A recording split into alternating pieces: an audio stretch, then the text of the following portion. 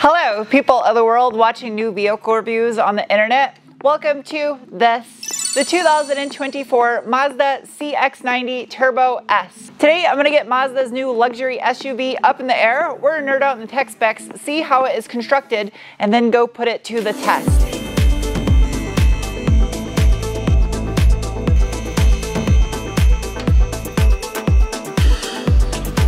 Up, I see this has what I like to call the I'm in denial, I'm still powered by an internal combustion engine style muffler.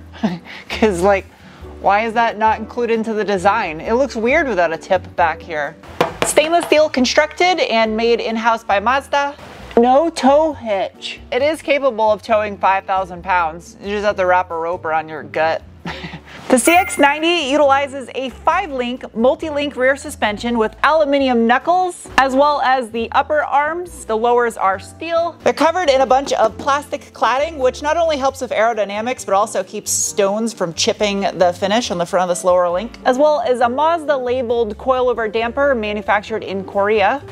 There's no rear anti-sway bar. Wild aluminium shields under the rear diff instead of some crappy hairy cardboard or even plastic. Up underneath all that shielding is an all aluminium in construction traditional style longitudinal rear differential. It has a 3.692 final drive ratio and the reason why they went with that is because Mazda has what they call kinetic posture control. The new Mazda CX90 chassis coated KK internally is a traditional longitudinal mounted drivetrain configuration and this Turbo S Premium Plus model weighs in at 4,899 pounds. This thing's got so much plastic underbody cladding. It's literally just a skateboard underneath here. Bunch of heat shielding, can't really see the drivetrain up there or the in this vicinity, a small battery pack for the hybrid system. Mid-pipe diameter, 65 millimeter stainless piping or about two and a half inches SAE.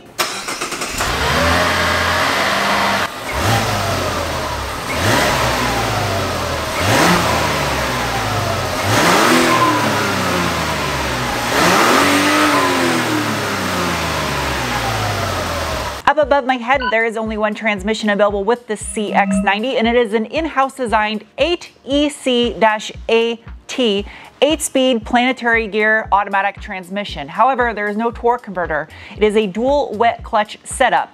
But because this has an integrated hybrid assist motor, there is a hybrid electric motor on the back half of the engine, then a single wet clutch, then the transmission, and another single wet clutch. And under normal conditions, it'll provide 80% of the torque to the rear wheels being rear biased and up to 50% of that torque can be provided to the front wheels when needed for extra traction. Up front, the CX-90 utilizes a double wishbone front suspension configuration constructed out of all aluminium with the exception of half of the lower wishbone. Now my theory on why they utilize two different materials in the construction of the lower wishbone is the same reason why Toyota and Subaru differed on the construction material for the knuckles on the Subaru BRZ and Toyota GR86. One has steel while the other one has aluminium and that is because aluminium has a lot more rigidity than steel does. Steel allows for some flex which will change the handling characteristics. So by making the rear half of this lower wishbone out of steel versus the front being an aluminium,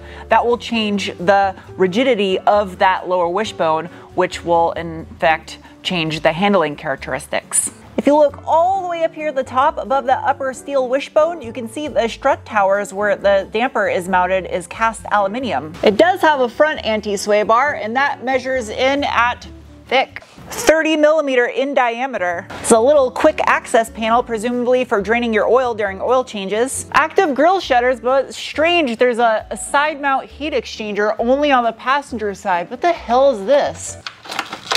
No, there's a water bottle in there. What? Gross.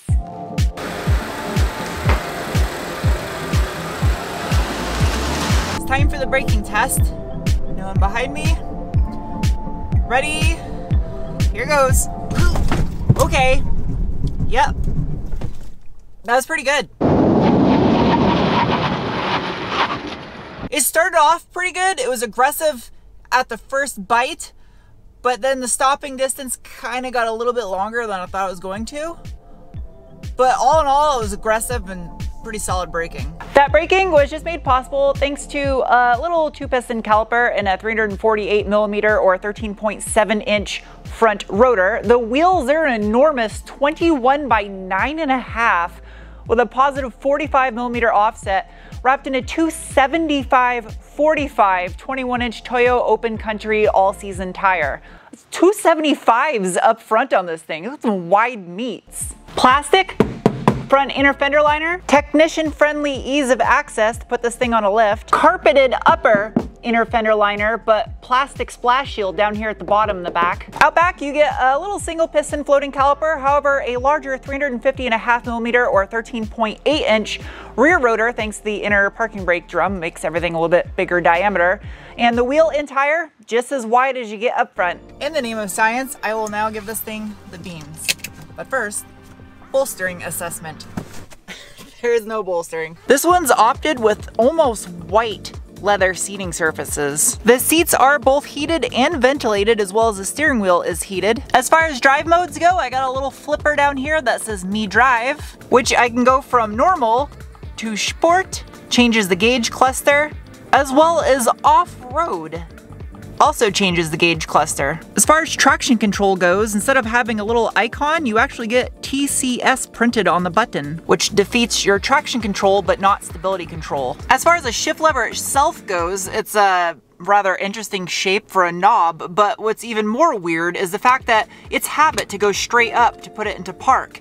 However, if you take your foot off the brake, you'll notice you're in reverse, so you have to press it and move it over. I'll give this thing a little assistance and let it eat. Ready?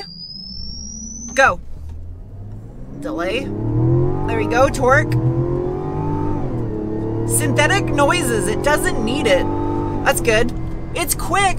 It doesn't need the fake sounds though. It's a straight six. I don't know why they added those.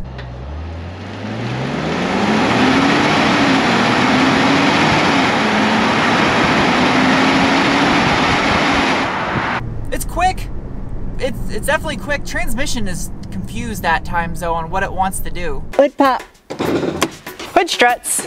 Underneath the hood of the 2024 Mazda CX-90 is the e-Skyactiv G 3.3 liter all aluminum turbocharged straight six that produces 340 horsepower from 5,000 to 6,000 RPM and 369 pound-feet of torque from 2,000 to 4,500 RPM.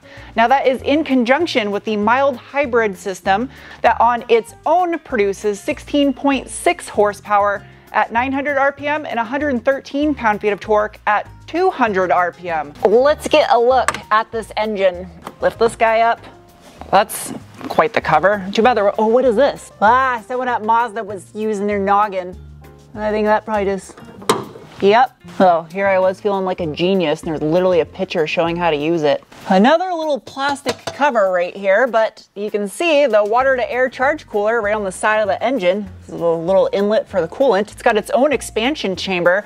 Ah, oh, that's what that side heat exchanger is for. It would have to have its own heat exchanger if it's got its own divorce coolant expansion chamber.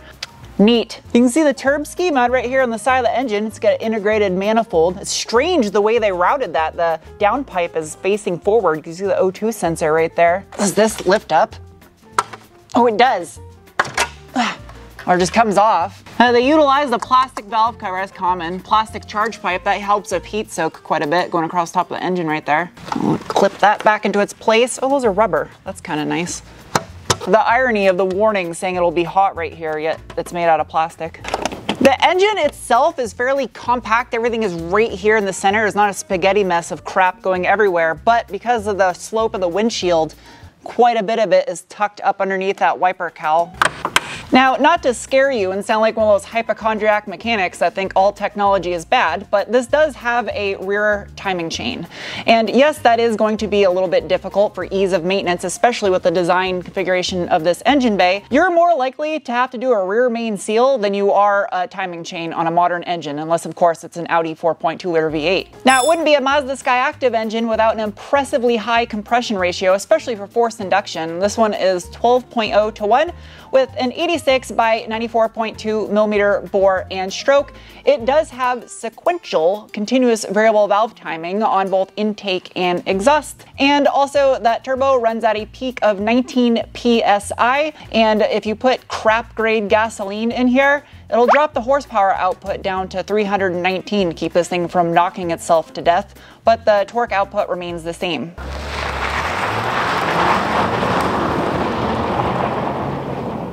I'm not doing a full-blown off-road review because this thing's got 21 inch wheels and I don't feel like destroying these wheels on rocks out here. But what I am gonna do is the hill climb test because I need to see how Mazda's all-wheel drive system works in this and if it's capable of climbing this hill that makes many transverse configured crossovers fail. I like that it at least has trail cams and a dedicated off-road mode, but when it's in off-road mode, the tachometer needle looks like a cigarette butt.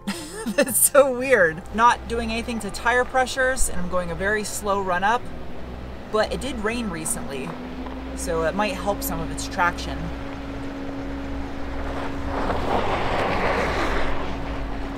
Traction control is on right now. No, okay. So I'm gonna defeat traction control and try that again, because I think it actually might climb this. Very slow run up because I don't want to hit the bumper. Alright. Yeah, get it Mazda. No problem. Pretty good. Pretty good off-road capabilities. Alright. Now I do have a hill descent control. See how it works. It's set at two miles per hour. It's smooth and quiet. You don't hear the robotic whales making noises like you do in some of the Toyota Lexus products. In case you don't know what robotic whales are, those that's what ABS sounds like.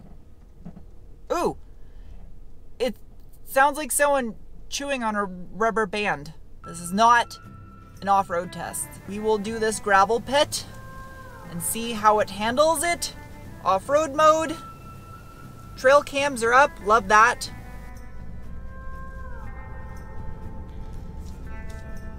No, uh, I get zero detection of this struggling whatsoever. I can only imagine how good this would be off-road with some proper tires on it because it's doing phenomenal even on these tires. Superb.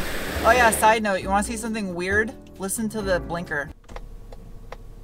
It sounds like someone chewing on a frozen walnut, like in ice cream. Does this recline? Oh, it does. This is a snazzy back seat. I have my own rear climate control, ventilated and heatilated. USB-Cs. I got my own little center console, a little butterfly door storage compartment. What is this? Whoa! You could put cassette tapes. Cassette tapes would fit perfectly in there, or Pop Tarts. Okay, super comfy third row. I got plenty of headroom back here. As far as leg room goes though, let's see. I mean, that right there is with the seat slid forward. Four cup holders, yeah, there's only two seats back here. A USB-C charger, little speaker in the D pillar. Can I fit over here though with the seat all the way back? Ooh, barely. My feet don't fit though. There's still enough room to put uh, like nine boxes of cat litter behind you. Cats poop a lot. Automatic. There's actually more room behind this third row in here than there was in the Toyota Sequoia. That's a much bigger vehicle. AC power inverter, a cigarette lighter, little strap. What is underneath here? Oh, it's a little plastic storage tray area and a toolkit. Absolutely, hands down, one of the reasons why I would choose this over one of its competitors is for the interior. It is absolutely gorgeous in here and different, unique with the type of materials they use. Power fold mirrors. I'm usually not a fan of wood grain, but this is super pretty, as is this material down here. It's like a cork almost. Tiny little airbag in the center of the steering wheel. Cup holder, little split compartment, USB-Cs. The infotainment screen is fairly low profile, but yet it's nice and wide. It blends in nicely with the dash. It might look like a number floating in the desert, but that's a heads up display. The infotainment controls themselves are fairly idiot proof. You have quick access for navigation, music, home, back, and favorites. The infotainment system itself is stereotypical Mazda. It's a very basic looking main menu. There is, however, a ton of customizability in the menu system. For instance, like this, paddle shift logic. You can actually customize how you want the paddle shifters to behave. I've never seen this on a vehicle before and I love that it has this option. One complaint I did notice the antenna is not very strong for the satellite radio if it's super cloudy out. That is not the shape of a CX-90 and it has a rather long front end. Is that an Easter egg for a future vehicle coming? You really notice the handling characteristics of this on a lower speed, tighter road or pulling out of somewhere like going on a 90 degree angle, you can fear that feel that rear bias of the SN wanting to be a little bit playful, but also that massive amount of grip just clawing along in the front with those wide front wheels. As far as the hybrid system goes, it's more of a power adder without ruining fuel economy than it is something just purely to enhance fuel economy. That sentence didn't make much sense, but in my head, it definitely did. Some of you might have gotten it. Also, the hybrid system, one thing to point out, the inverter is on top of the transmission. So that's an interesting location for it. And the lithium ion battery pack, with Mazda being so focused on weight distribution, I'm surprised they stuck it under the driver's seat, which is always guaranteed to have somebody sitting in it. You think they would have put it over there on the passenger side of their best friend's ride. Trying to holler at me. I don't want. Sorry.